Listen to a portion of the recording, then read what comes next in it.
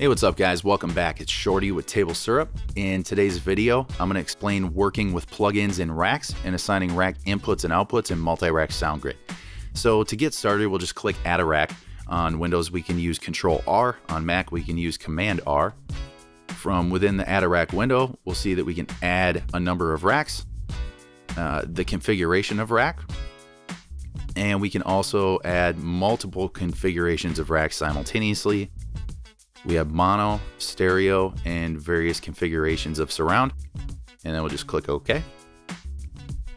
Once we've instantiated racks, we'll see our input and output assignments on the left and right hand sides.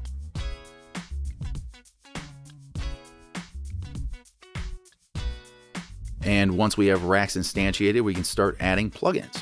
So to do that, we'll just click the little plus sign in a rack. We can add up to eight plugins per rack just choose from a category and a plugin. Let's just instantiate a C6 multiband compressor.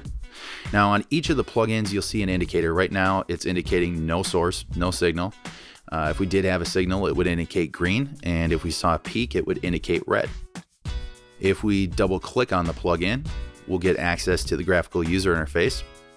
You can just start from a preset in the Wave System toolbar. We would just go to load uh, we just pick a category and a preset. Uh, shout outs to Pooch. We'll just grab his vocal preset. Now, say we wanted to add another plug. Let's say that I was looking to get out some noise, uh, use the primary source expander, and we just set a threshold and a gain reduction. Awesome plug, by the way. You should be using this on like every single channel we can drag and drop plugins. So say I wanted this in front of my C6, I could just drag and drop the plugin and reorder. Now let's say I want to add some EQ after just in case. Uh, maybe I just want to be able to knock some stuff down on the go as things are changing, things are moving around on stage. Now, once we've created a plugin chain, uh, say I want to take this chain and save it.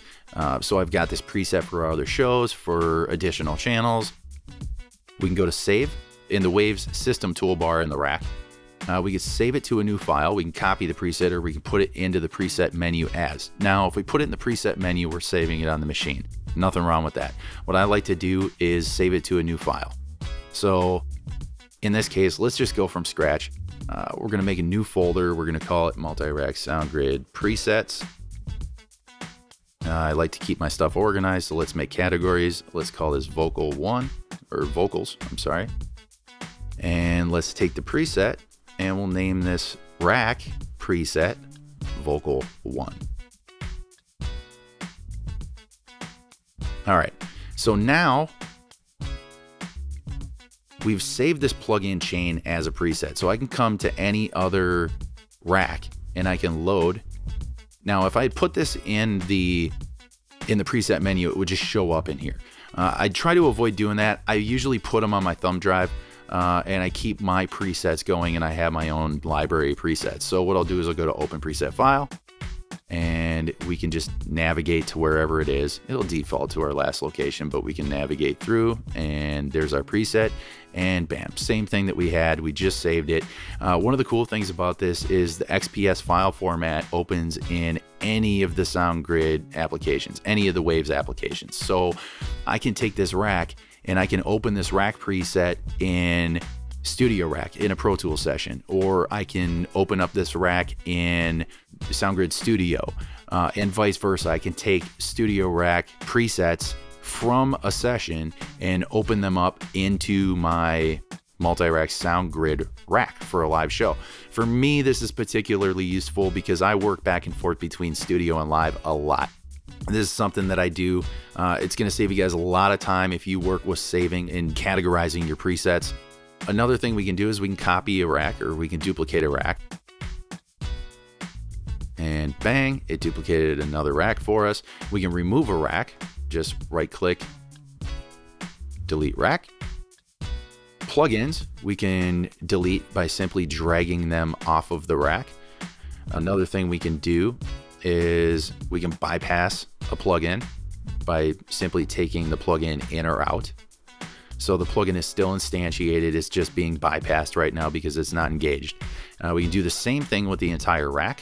by turning the entire rack on or off. Uh, another thing that we can do is we can disable a plugin. Now, the cool thing about this is we can have plugins in a rack that we may or may not be using. We're not sure if we're going to use it yet. Uh, if that's the case, we can disable the plugin, which removes it from the DSP engine. So we're not eating resources right now because it's disabled. Uh, if we decide we do want to use it, then we just enable the plugin and it's back in the system. It's active. And that's it for today's video. In the next episode, I'll explain running MultiRack in a show using snapshots, MIDI control, and the hot plugins feature. Thanks for watching.